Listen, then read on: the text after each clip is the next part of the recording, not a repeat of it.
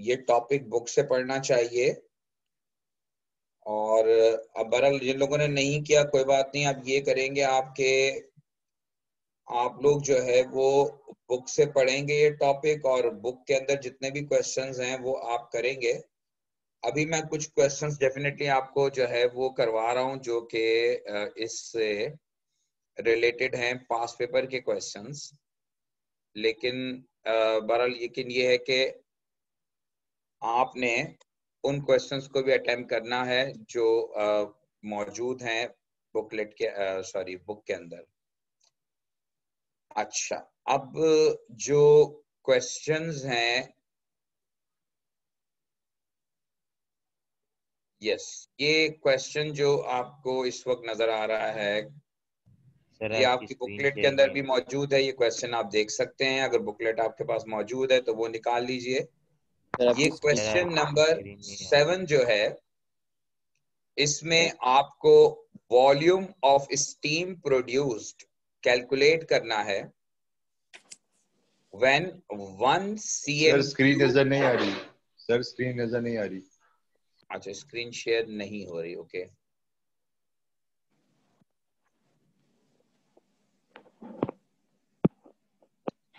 Right जी। तो question ये है कि the density of ice is one gram per C M cube जब हम कहते हैं one gram per C M cube इसका मतलब ये है कि आइस का जो मास है, वो वन ग्राम है और उसका volume one C M cube है।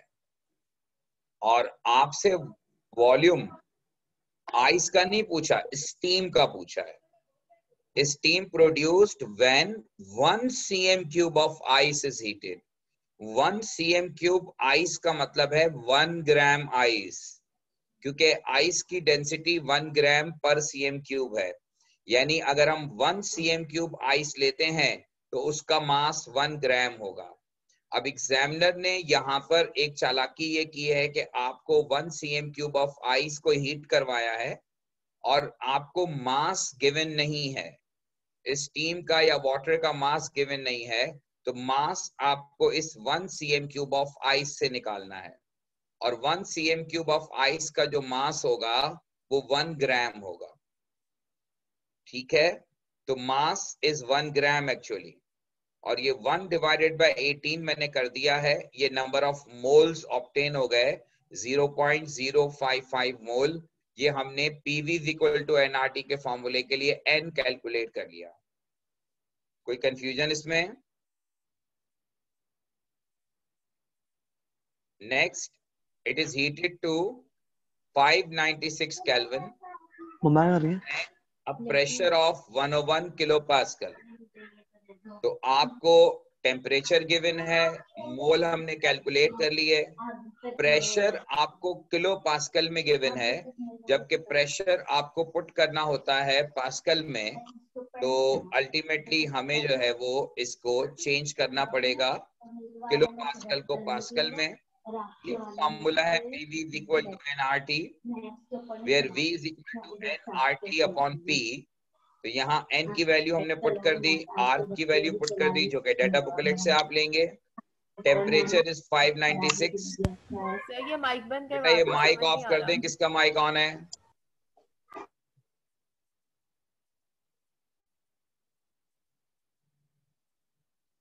तो 8.31 R की वैल्यू है। 596 टेम्परेचर है। 101 आपको गिवन है किलो पास्कल प्रेशर और इस किलो को कन्वर्ट करने के लिए पास्कल में हम 10 टू दावर थ्री से मल्टीप्लाई करेंगे। तो इसको जब आप सॉल्व करेंगे तो आंसर जो आ रहा था, वो 2.70 10 to the power minus three आ रहा था। लेकिन इसका यूनिट क्यूबिक मीटर होगा क्योंकि पीवी इक्वल टू एनआरटी में हम सारे एसआई यूनिट इस्तेमाल करते हैं। और एसआई यूनिट में वॉल्यूम का यूनिट जो होता है वो क्यूबिक मीटर होता है। लेकिन ऑप्शंस जो आपको गिवन थे वो डीएम क्यूब में गिवन थे। तो डीएम क्यूब में ऑप्शंस गिवन होने का मतलब ये है कि ये टेन टू दावर थ्री से आप इसको मल्टीप्लाई करेंगे। जी बोलिए। सर यही आंसर है 2.67 ही आ रहा तो 2.67 डीएम क्यूब जो है, ये इसका आंसर आएगा, क्योंकि आंसर आपका मीटर क्यूब में आएगा, जहाँ 10 to the power minus three है। अब आप इस मीटर क्यूब को डीएम क्यूब में कन्वर्ट करेंगे और इसे मल्टीप्लाई करेंगे by 10 to the power three तो आंसर 2.70 और नियरेस्ट जो है वो 2.67 है तो correct answer will be C seven का करेक्ट आंसर सी होगा। होपफुली आपको मेरी बात समझ में आ गई होगी।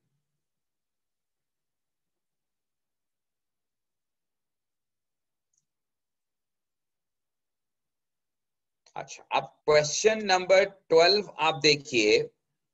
It is another way to ask question कि आपको एग्जामिनर एक्सप्रेशन दे रहा है जिसमें वैल्यूज़ पुट की हुई हैं और आपको करेक्ट एक्सप्रेशन सेलेक्ट करना है। कि what is the relative molecular mass of gas MR का फॉर्मूला मैंने पिछली क्लास में ड्राइव करवाया था। M R T upon PV है। अब यहाँ गैस का मास गिवन है पॉइंट वन ग्राम अब आप देखें point one point one point one सब में कॉमन है, यानी कि मास कॉमन है। 8.31 8.31 8.31 आर की वैल्यू सब में कॉमन है। लेकिन यहाँ टेम्परेचर की जो वैल्यू है, दो जगहों पे 27 है, दो जगहों पे 300 है। हमें पता है कि हम टेम्परेचर हमेशा केल्विन स्केल में पुट करते हैं तो 27 प्लस 273 आंसर विल बी 300 तो इसका मतलब है कि ऑप्शन बी या ऑप्शन डी करेक्ट हो सकते हैं। और इसके बाद next volume 83.1 CM cube given है, जबकि हमें वॉल्यूम पुट करना होता है क्यूबिक मीटर में। तो 83.1 तो आप पुट नहीं कर सकते। इसका मतलब ये है कि correct answer will be 83.10 to the power minus six तो इसका जो करेक्ट आंसर है, वो डी है। वॉल्यूम की जगह आप पुट करेंगे 83.1 into ten to the power minus six ten to the power minus six इसलिए कि one cubic metre is equal to ten to the power six C M cube के। तो one C M cube is equal to ten to the power minus six metre cube के ये equivalent होता है। तो आप जब सी एम क्यूब को मीटर क्यूब में कन्वर्ट करते हैं तो ten to the power minus six से मल्टीप्लाई करते हैं। तो ये हमारा करेक्ट आंसर हो गया that will be answer D option D hopefully आपको बात समझ में आ गई होगी।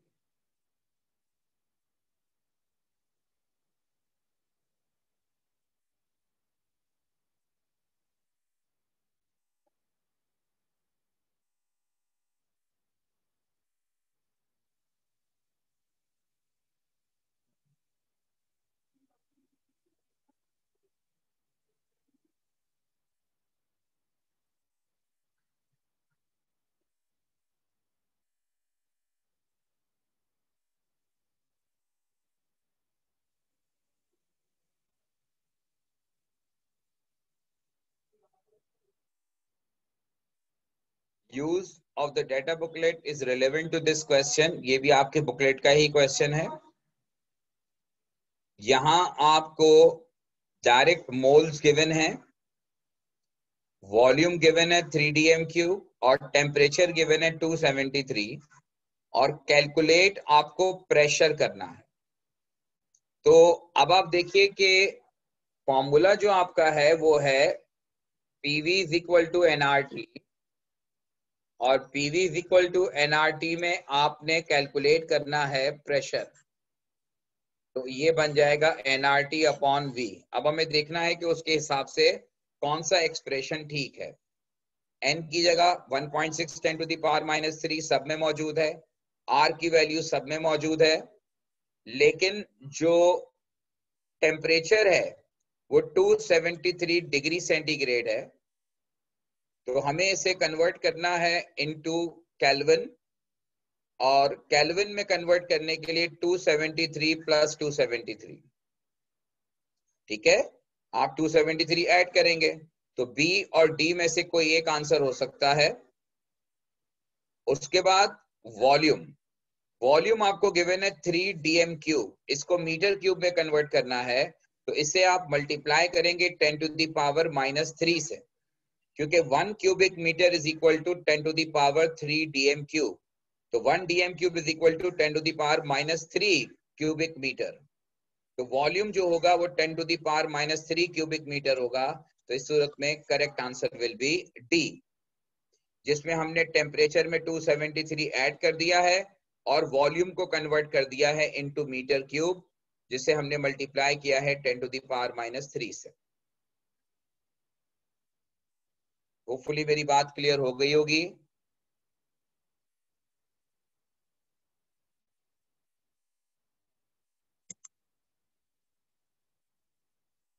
अच्छा जी अब जो है वो आ, इसके अलावा यस ये एक और क्वेश्चन है question number twenty to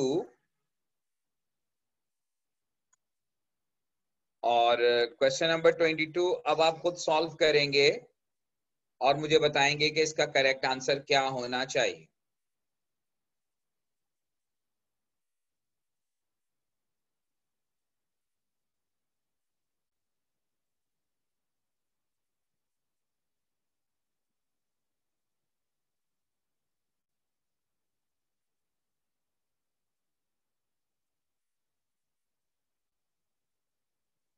question number 22 में आपको मास गिवन है 0.56 ग्राम ऑफ़ इथेन अब यहाँ एक्सप्रेशन गिवन नहीं है बल्कि आपको वैल्यू कैलकुलेट करनी है। इथीन C2H6 है ना सर इथेन इथेन जी C2H4 C2H4 ethane is C2H4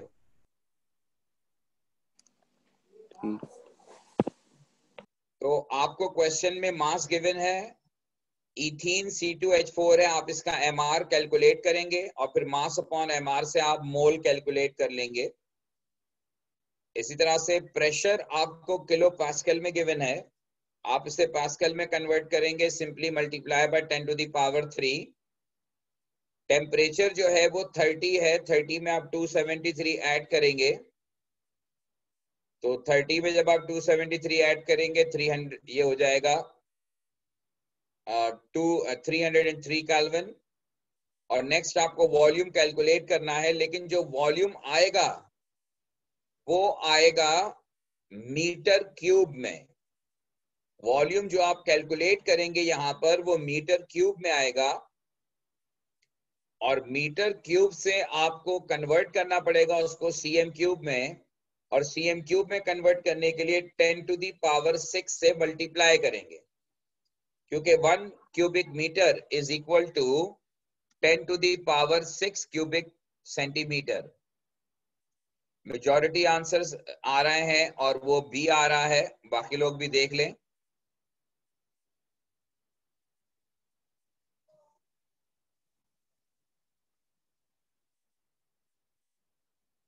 जी मेजोरिटी ने बी किया, इसका मतलब है कि आंसर बी इज़ करेक्ट इसी तरह देखिए 24 आप कर लीजिएगा।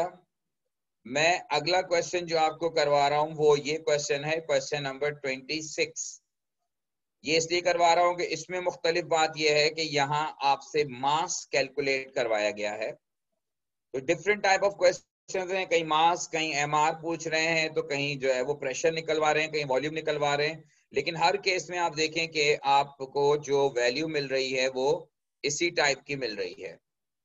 अच्छा जी, बहरहाल आप 26 पर आ जाइए। क्वेश्चन नंबर 26 में ammonia 40 degree centigrade pressure 95 kilo pascal तो एक तो आप 40 में 273 ऐड करेंगे केल्विन में कन्वर्ट करेंगे, और प्रेशर में 10 टू पावर 3 से मल्टीप्लाई करेंगे पास्कल में कन्वर्ट करेंगे. वॉल्यूम मेजर्ड जो होगा, वो क्यूबिक मीटर होगा, ठीक है? वो ऑलरेडी क्यूबिक मीटर में गिवन है, और आपको सैंपल का मास कैलकुलेट करना है और इसके लिए एमआर आपको गिवन है और एमआर जो है वो 17 है। इसलिए कि अमोनिया का एमआर जो है वो 17 होगा। तो वैसे हमारा फॉर्मूला जो है वो है PV is equal to M R T upon M R अब m निकालना है तो m निकालने के लिए, मास निकालने के लिए हो जाएगा PV M R upon R T तो अब आप प्रेशर में पुट करेंगे।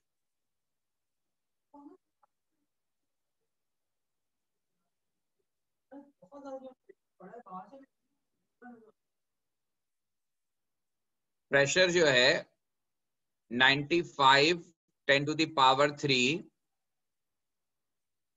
इसके बाद वॉल्यूम जो है, वो 4.32 10 to the power minus five ये क्यूबिक मीटर में ऑलरेडी तो इसे हमें कन्वर्ट करने की ज़रूरत नहीं है।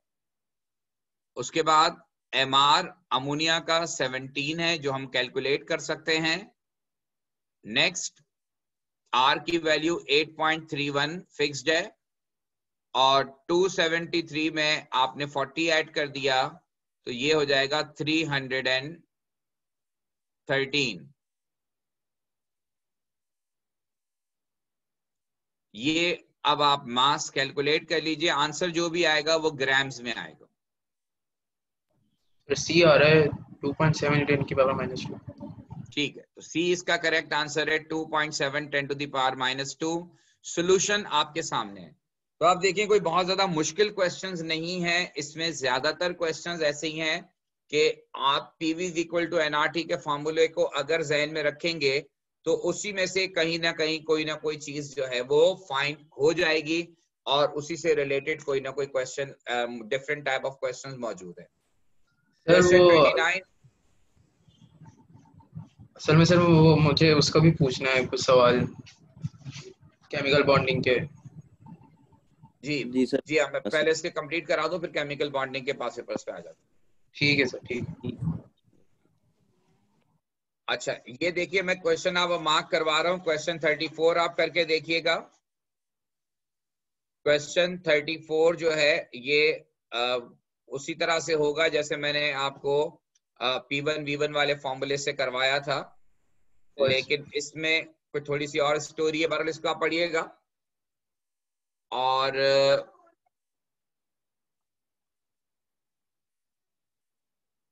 question number thirty six question number thirty seven question number thirty eight ये सारे देखें एक ही टाइप के क्वेश्चंस हैं। यस yes, अब अभी मैं आपको जो करवा रहा हूँ वो क्वेश्चन नंबर फोर्टी टू करवा रहा हूँ।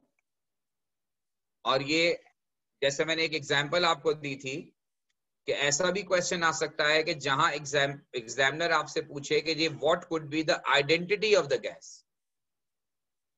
अब अगर आपको आइडेंटिटी ऑफ़ द गैस में चार ऑप्शंस गिवन है तो आइडेंटिटी ऑफ़ द गैस निकालने के लिए आपको इस गैस का एआर या एमआर चाहिए। लेकिन ये आर्गॉन हीलियम क्रिप्टॉन और नियॉन आपको पता है ये चारों नॉबल गैसेस हैं। और नॉबल गैसेस डायटोमिक मॉलिक्यूल नहीं होते, वो मोनो एटोमिक गैसेस होती हैं। लिहाजा यहाँ पर पहले आप इसका एमआर यानी एआर फाइंड आउट करेंगे। और उसके लिए वही एमआर वाला फॉर्मूला अप्लाई होगा कि M R is equal to M R किसके इक्वलेंट था? एम आर टी क्या था? PV M R T over PV M R T upon PV ये फॉर्मूला आपको याद होना चाहिए क्योंकि एक और क्वेश्चन भी है जिसमें उसने डायरेक्ट फॉर्मूला पूछा है। तो ये एम आर या ए आर जो भी आपको निकालना हो फॉर्मूला यही रहेगा। मास 0.65 गिवन है। आर की वैल्यू 8.31 फिक्स्ड है। टेम्परेचर 300 केल्विन में डायरेक्ट गिवन है तो डायरेक्ट पुट कर दिया। इसके अलावा volume 400 10 to the power minus six ये वॉल्यूम आपको कन्वर्ट करना पड़ेगा। और इसके बाद जो है वो 101 10 टू पावर थ्री क्योंकि किलो पास्कल को आपको पास्कल में कन्वर्ट करना होगा ये है ओवरऑल कैलकुलेशन अब आपने कैलकुलेट किया तो 40 आ गया। अब आप पीरियोडिक टेबल में देखेंगे कि 40 इन चारों में से किसका ए आर है? तो 40 जो है वो आर्गन का ए आर मिलेगा। इसका मतलब ये है कि correct answer will be argon तो क्वेश्चन इस पैटर्न पर भी आ सकता है, जहाँ एग्जामिनर आपको जो है वो इस तरह की बात करेगा। होपफुली आपको मेरी बात समझ में आ गई होगी।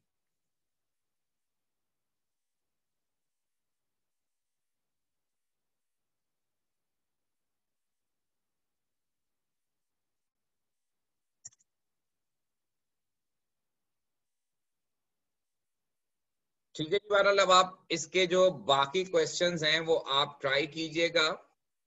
एक क्वेश्चन मैं यहाँ पर आपको और करवा रहा हूँ। ये क्वेश्चन थोड़ा सा मुख्तलिफ़ तो नहीं है, लेकिन नॉर्मली इस क्वेश्चन में स्टूडेंट गलतियाँ कर जाते हैं। ये जरा मैं आपको बताता हूँ कि इसमें क्या कहानी है। ये स्ट्रक्चर्ड क्वेश्चन है। एयर में बताता हूँ अभी आपको। इसमें आपको पहले तो दो एजम्पन्स लिखने हैं काइनेटिक थ्योरी के। As applied to an inert gas और मैंने आपको कहा था कि दो एजम्पन्स वो कॉमन एजम्पन्स हैं कि there is no attractive force present among gas molecule और volume of gas molecule is negligible as compare to volume of gas container कोई भी दो आप स्टेटमेंट लिख सकते हैं जो इनर्ट गैस में, लेकिन वो मैंने कहा था कि ज़्यादा फ्रीक्वेंटली जो लिखे जाते हैं वो ये दो है। अच्छा जी अगला सवाल है कि how many atoms of argon present in one mole of a gas कितने एटम होंगे? 6.02 की पावर वन मोल किसी भी चीज़ का हम लेते हैं तो वन मोल के अंदर पार्टिकल का number 6.02 10 to the power 23 atoms होंगे। Next you are to calculate the percentage of the volume occupied by the atom themselves in one mole of argon at room temperature and pressure. आपको volume का percentage निकालना है कि एक atom जो है वो कितने परसेंट वॉल्यूम ऑक्यूपाई करता है? By the atom sorry by the atoms है। कि वन मोल एटम जो है, वो कितना वॉल्यूम ऑक्यूपाई करते हैं इटसेल्फ वो कैलकुलेट करने के लिए use the data from data booklet to calculate the volume of one atom of argon और ये वॉल्यूम का फार्मूला उन्होंने आपको दे दिया है four by three pi r cube. Pi की वैल्यू 3.14 दी है और आर जो है ये एटॉमिक रेडियस है। आर इज़ एटॉमिक रेडियस और ये एटॉमिक रेडियस आपको डेटा बुकलेट में मिलेगा। किसका एटॉमिक रेडियस चाहिए? हमें चाहिए उसका जो गैस जिसकी हम बात कर रहे हैं दैट इज़ आर्गॉन अब आपका काम यह है कि आप डेटा बुकलेट निकालें। बुकलेट में मौजूद है डेटा बुकलेट उस डेटा बुकलेट में एक पेज है, जहाँ पर एटॉमिक रेडियस का डेटा गिवन है, और आप उस एटॉमिक रेडियस के डेटा से रिलेटेड जो भी वैल्यू है वो मुझे बताइए। फोर बाय थ्री पाई की value three point one four है। Into zero point one nine zero है। ये 0.190 जो है इसका यूनिट क्या है? सर ये एनएम लिखा हुआ है। एनएम क्या सर एनएम जो होता है ये होता है नैनोमीटर नैनोमीटर इसे आप मल्टीप्लाई करेंगे by 10 to the power nanometre को मीटर में कन्वर्ट करने के लिए माइनस नाइन से। 10 टू दावर माइनस नाइन से आप मल्टीप्लाई करेंगे। हेलो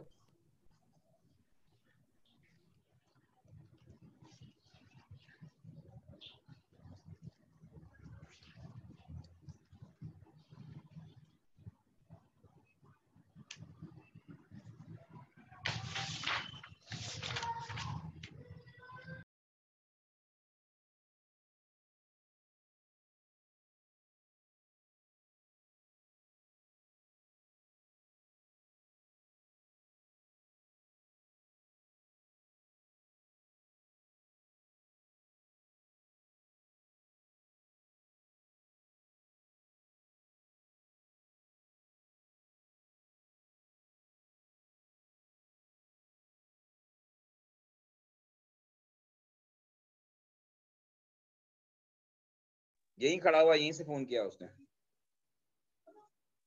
अच्छा जी तो ये ten to the power minus nine से इसलिए मल्टीप्लाई किया है ताकि नैनोमीटर मीटर में कन्वर्ट हो जाए। अब आप कहेंगे, मीटर में क्यों कन्वर्ट करना है? तो उसका रीजन ये है कि आपको पता है कि जो स्टैंडर्ड वॉल्यूम का यूनिट होता है, वो मीटर क्यूब होता है। तो आपको आगे वॉल्यूम कैलकुलेट करना है। तो वॉल्यूम कैलकुलेट करने के लिए आप जो यहाँ पे पुट करेंगे वो, और देखें दूसरी बात ये कि आर का क्यूब कर रहे हैं। तो ये आप मीटर पुट करेंगे तो ये मीटर क्यूब आएगा वरना फिर डीएम क्यूब में वॉल्यूम आएगा या फिर जो है वो आ, मतलब डिपेंड करेगा कि आप कौन सा यूनिट पुट कर रहे हैं। तो नैनोमीटर से मीटर में कन्वर्ट करना आसान है नैनो का मतलब ten to the power minus nine है। पर अब आप अगर आंसर मुझे बता दें कैलकुलेट करके क्या आ रहा है? ये volume of one atom of argon है।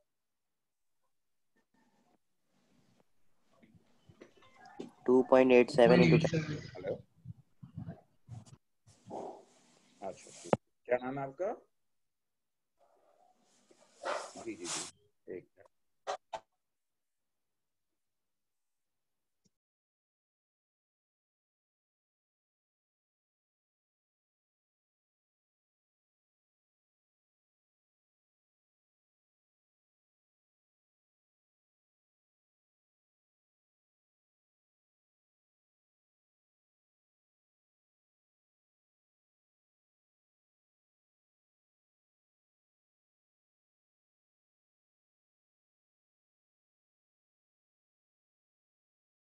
जरा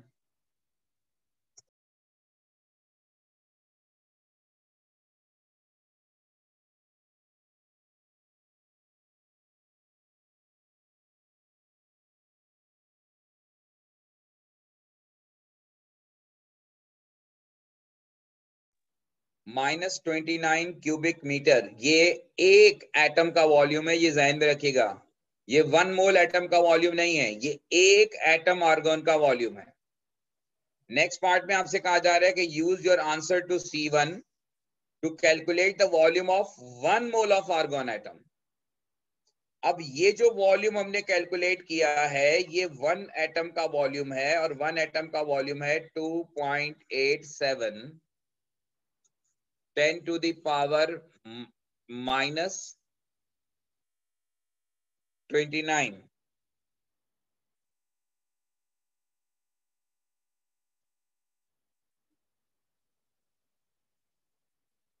और हमारे पास वन मोल में कितने एटम होते हैं? 6.02 10 to ten the power 23 atoms तो इसमें कितना वॉल्यूम होगा? कैलकुलेट कीजिए और बताइए। ठीक है, इसी कैलकुलेट कीजिए और फिर नेक्स्ट आप परसेंटेज कैलकुलेट करके आंसर बताइए। नेक्स्ट मिनट में आ रहा हूँ।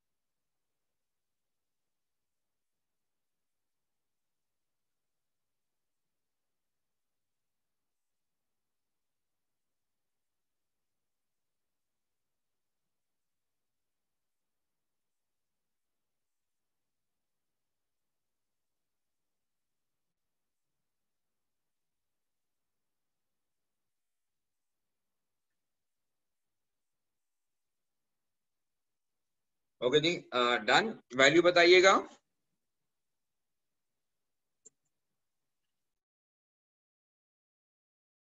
सर 1.73 मल्टीप्लाई बाय 10 की पावर माइनस 5 जी बेटा 1.73 three 10 to the power minus five minus five cubic metre ये हो गया जो volume itself one mole of argon atom occupy करेंगे। और state the volume occupied by one mole of argon अब आपको पता है कि अगर हम जब ये कहते हैं कि वन मोल किसी भी गैस का लेंगे तो वॉल्यूम ऑक्यूपाइड जो होगा वो 0.024 क्यूबिक मीटर होता है, जिसको आप 24 डीएम क्यूब भी कहते हैं। मैं क्यूबिक मीटर में इसलिए ले रहा हूँ कि यहाँ पर वॉल्यूम भी क्यूबिक मीटर में आया है हमारे पास। होपफुली मेरी बात समझ में आ गई होगी। वन मोल किसी भी गैस का जो वॉल्यूम ऑक्यूपाई करता है at room temperature and pressure वो पॉइंट ज़ीरो टू फोर करता है। Next what percentage of this volume is occupied by the atoms themselves अब देखिए sir sir sir container sir sir एक सवाल है। सर एक सवाल है। सही 1.73 multiply 10 to the minus five ये भी तो वॉल्यूम निकला था। और फिर जो जी। 0.024 है ये भी वॉल्यूम है तो ये समझ नहीं आया मुझे। ये दो अलग अलग वॉल्यूम है। ये ऊपर वाला वॉल्यूम जो है ये one mole of argon atom का जो ओरिजिनल वॉल्यूम ऑक्यूपाई करेंगे। और सही। जो hypothetically one mole of ideal gas occupy करती है वो point zero two four metre cube होता है। सर आपकी आवाज़ बहुत डिस्ट्रैक्ट हो रही है सर आवाज़ सही नहीं आ रही।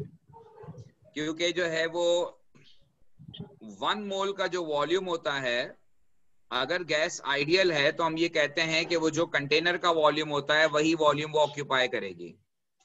आइडियल गैस का जो कॉन्सेप्ट था वो ये था कि volume of gas molecule is negligible as compare to volume of gas.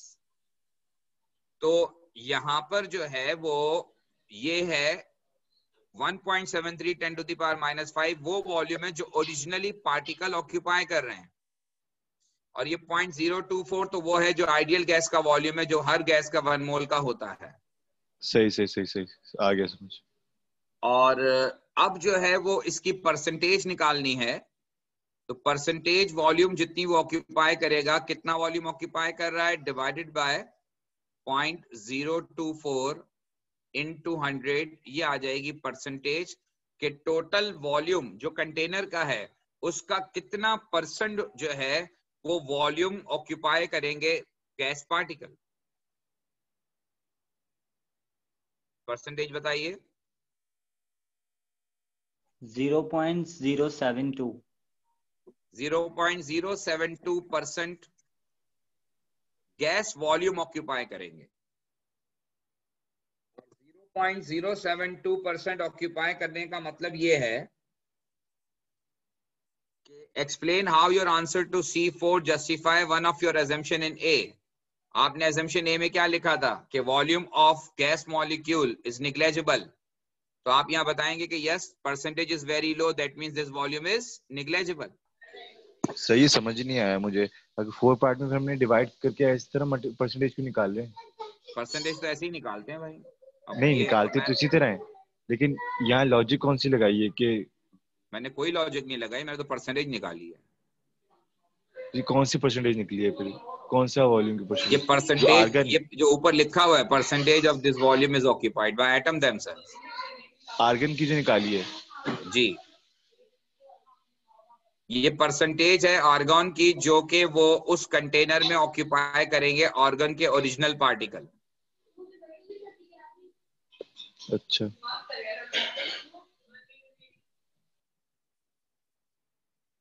One point seven three ten to the power minus five था ये। तो ये एक क्वेश्चन था, वरल इस तरह के और क्वेश्चंस भी आपको मिलेंगे और ओवरऑल अब आप देख लीजिएगा, अगर कोई इसमें आपको प्रॉब्लम हो इससे रिलेटेड तो आप जो है वो इसमें आगे पीवी इक्वल टू एनआरटी के भी क्वेश्चंस हैं, देखें जैसे ये आगे गिवन है।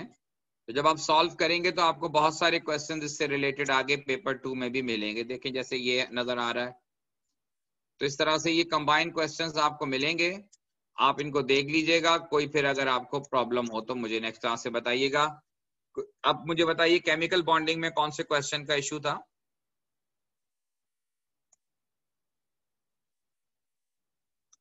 क्वेश्चन नंबर बताइए केमिकल बॉन्डिंग में।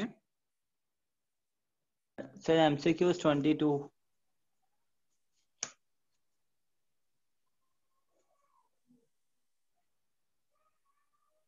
PH three molecule में बॉन्ड एंगल क्या होगा? अच्छा हाँ ये क्वेश्चन जो है वो थोड़ा सा इसमें इशू ये है कि आपको जो आइडियल वैल्यूज़ गिवन थी ये उससे मैच नहीं कर रहा। जी जी बिल्कुल पीएच थ्री में एक लोन पेयर है तो आइडियली इसका बॉन्ड एंगल 107 होना चाहिए। It should be less than 109 degree क्योंकि एक लोन पेयर की वजह से जो है वो बॉन्ड एंगल रिड्यूस होगा। अच्छा अब यहाँ पर जो है वो 104 करेक्ट आंसर है। अब आप कहेंगे 104 तो दो लोन पेयर पे होता है, बिल्कुल होता है, लेकिन हमारे पास जो अवेलेबल ऑप्शंस हैं उसमें 104 ही हो सकता है। 109 इसलिए नहीं हो सकता कि 109 उस वक्त होता है जब कोई लोन पेयर ना हो। और जब लोन पेयर आता है तो ये हम पढ़ चुके हैं कि lone pair bond pair repulsion ज़्यादा होने की वजह से बॉन्ड एंगल रिड्यूस होता है। अब बॉन्ड एंगल रिड्यूस होके कितना हो जाएगा? ये फाइंड आउट करने के लिए जो है वो डेफिनेटली uh, जो है वो हमने तो अज्यूम किया था 107 का लेकिन it should be less than 109 तो जो क्लोजेस्ट वैल्यू 109 से है वो 104 है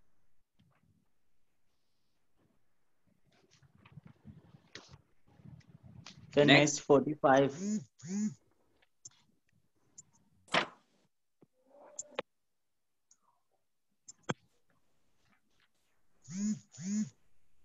question number 45 में अ, तीनों स्टेटमेंट ठीक हैं. तीसरा स्टेटमेंट आपकी समझ में अभी नहीं आएगा. जब आप एल्कीन पढ़ लेंगे तो समझ में आ जाएगा. अभी इसलिए इसको आप छोड़ दीजिए। क्वेश्चन नंबर नंबर फोर्टीन है पेपर टू का। जी? क्वेश्चन नंबर फोर्टीन है एक पेपर टू का वो समझ अच्छा पहले पे, पहले ये एमसीक्यूज देख लें और को, कोई और एमसीक्यूज में तो नहीं है क्वेश्चन सिक्सटीन बता दो।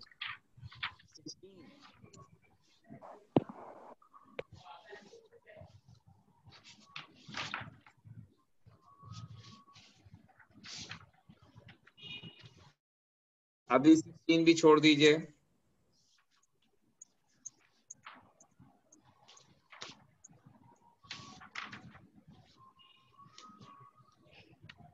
सर ऑर्गेनिक वाले तो नहीं करने ना हमें? नहीं। अभी आप कौन से क्वेश्चन कर रहे हैं? कौन सा कह रहे हैं मुझसे? फोर्टीन ये सर एमसीक्यू फिफ्टी फोर और फिफ्टी फाइव भी एक बार देख लें सर। अच्छा एक मिनट पहले जरा इनका मामला देख लेते हैं। Question number 14 the bonding hydrogen similar to that in ammonia showing your outer shell electron only by drawing dot and cross diagram of ammonia molecule. 14, इसमें तो 14. बेटा अच्छा 14 फोर्टीन फोर्टीन का सर एफ़ पार्ट नहीं हो रहा वो जो नीचे के दोनों है F part The boiling point of these two compounds are given below. Suggest an explanation for the following. The close similarity of the boiling point of the two compounds. Number of electrons count किए हैं आपने दोनों के नहीं sir एक आप करें calculate nine and nine eighteen और दूसरे में भी एटीन है। जी जी। दोनों मॉलिक्यूल में नंबर ऑफ़ इलेक्ट्रॉन सेम है। बॉइलिंग पॉइंट की सिमिलैरिटी सेम होने का मतलब यह है कि दोनों में जब नंबर ऑफ़ इलेक्ट्रॉन सेम है तो वेंडरवाल फोर्सेस की स्ट्रेंथ भी ऑलमोस्ट सेम होंगी। इसीलिए दोनों के boiling point nearest to each other है। सर नंबर ऑफ़ इलेक्ट्रॉन से हम लोग ये पता चल रहा है कि वेंडरवाल फोर्सेस सेम है। जी। इसलिए बॉइलिंग पॉइंट नियरेस्ट है। सेम तो नहीं है लेकिन नियरेस्ट है। क्योंकि नंबर ऑफ़ इलेक्ट्रॉन के बढ़ने से आपको पता है कि वेंडरवाल फोर्सेस की स्ट्रेंथ बढ़ती है। ठीक है। Slightly higher boiling point of CH3F इसलिए है कि van der Waals forces CH3F के अंदर जो है वो परमानेंट डायपोल डायपोल अट्रैक्शन भी होगी। जो कि जी जी बोलिए। ऊपर वाले मॉलिक्यूल में नहीं होगी।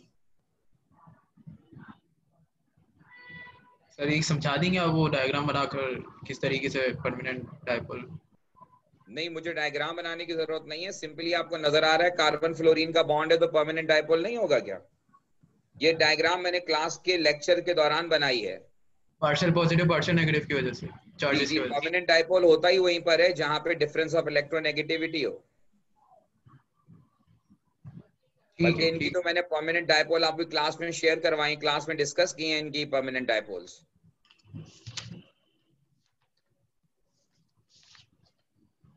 क्लियर हो गई बात?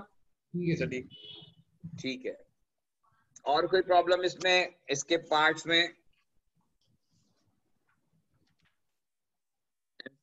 में आपने अ, किसी बच्चे ने अभी 24 का कहा है। पहले 24 देख लेते हैं फिर अगर कोई और है तो। Hydrogen bonding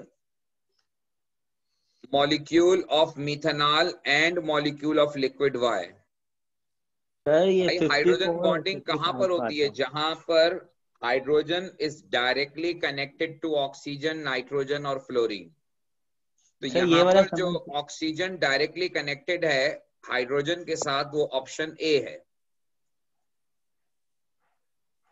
सर 54 एंड 55 का था? नहीं ये किसी ने 25 भी कहा था ये इसका करेक्ट आंसर ए है। 54 55 मेरे पास इस बुकलेट में नहीं है बेटा।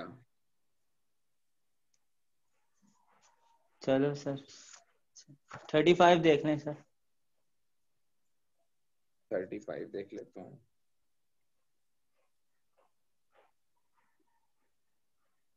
थर्टी फाइव में व्हाट इज़ द अप्रोक्सीमेट अच्छा अब यहाँ पर नाइट्रोजन के वैलेंस शेल में होते हैं पाँच इलेक्ट्रॉन। पाँच में से, पाँच में से जो है वो तीन इलेक्ट्रॉन तो तीन बॉन्ड बना रहे हैं। इसका मतलब है कि एक अदद लोन पेयर यहाँ मौजूद होगा। तो ये एग्ज़ाम्पल है two bond pair and one lone pair की। और टू बॉन्ड पेयर और वन लोन पेयर का मतलब ये है कि इसका बॉन्ड एंगल 120 से कम होना चाहिए तो 120 से कम जो है वो 104 डिग्री है। क्योंकि लोन पेयर की वजह से बॉन्ड एंगल जो है वो रिड्यूस होते हैं। तो यहाँ लोन पेयर की वजह से बॉन्ड एंगल वैसे थ्री बॉन्ड पेयर पे बॉन्ड एंगल 120 होता है लेकिन यहाँ पर बॉन्ड एंगल रिड्यूस होके 104 हो जाएगा। So 109 भी तो हो सकता है।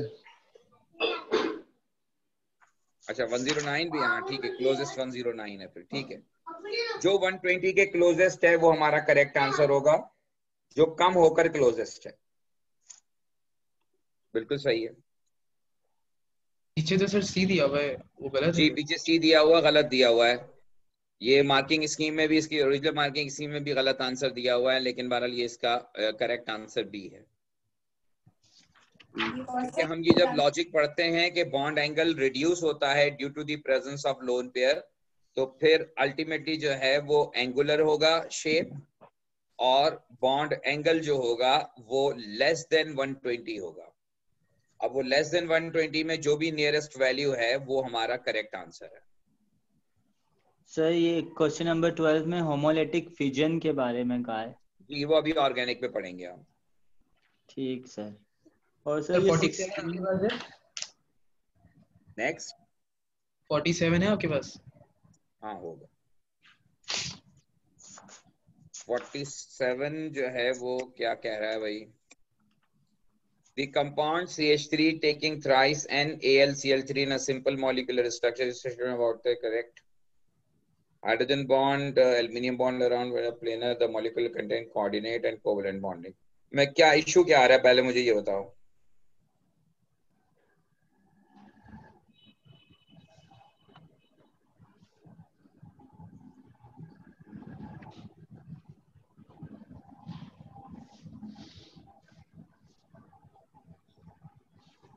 इसका करेक्ट आंसर डी है the molecule contain coordinate and covalent bonding इसकी वजह यह है कि एल्युमिनियम की वैलेंस शेल में जो तीन इलेक्ट्रॉन हैं, वो तीन क्लोरीन के साथ शेयर करते हैं तो इसका वैलेंशियल कंप्लीट नहीं होता।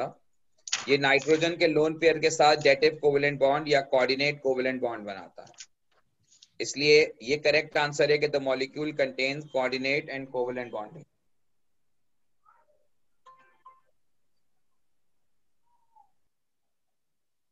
sir coordinate का मतलब क्या हुआ? कोऑर्डिनेट बॉन्डिंग कौन सी होती है? डेटिव कोवेलेंट बॉन्डिंग अच्छा अच्छा। से थ्योरी में क्वेश्चन नंबर सिक्सटीन थ्योरी में क्वेश्चन नंबर 16 पार्ट वन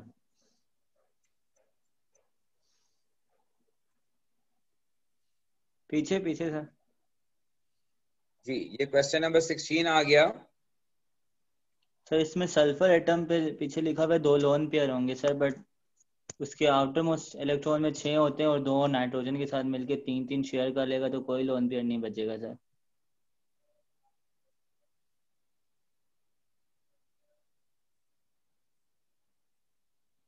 मतलब तुम क्या कह रहे हो? Number of lone pair of electron around nitrogen atom and a sulfur atom in s4n4 तो तुम क्या कह रहे हो? क्या होगा? ये सल्फ़र एटम में आउटर मोस्ट शेल में इसके छह होते हैं ना छह इलेक्ट्रॉन जी दो अनपेयर्ड होते हैं। हाँ लेकिन जब ये दो नाइट्रोजन के साथ बॉन्डिंग करेगा तो तीन तीन शेयर कर देगा ना नाइट्रोजन के आउटर में तीन होते हैं। तीन तीन कैसे शेयर करेगा? अच्छा अच्छा सही सही। सल्फ़र के वैलेंस शेल में दो ही अनपेड इलेक्ट्रॉन होते हैं। हाँ ठीक है सर समझ गया। ठीक है। और कोई इश्यू या प्रॉब्लम इससे related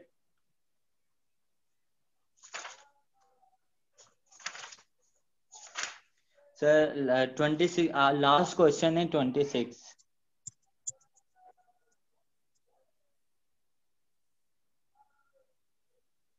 नहीं जी ट्वेंटी सिक्स भी मेरे पास तुमने ये बुक मेरे पास पुरानी वाली, पिछले साल वाली है तो ये अपडेटेड मैंने इसमें नहीं डाली हुई। मैं इसको चेंज करता हूँ अपडेटेड डालता हूँ, और फिर मुझे बताइएगा। इसमें वो क्वेश्चन नहीं है।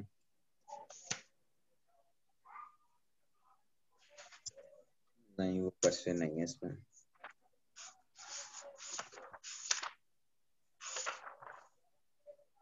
आप ग्रुप पे शेयर कर दीजिएगा मैं उसको देख लूँगा ठीक है? ओके सर राइट जी अब अगर कोई आपका क्वेश्चन है तो पूछ लीजिए अदरवाइज़ इंशाल्लाह इसको हम अगली क्लास में कंटिन्यू करेंगे।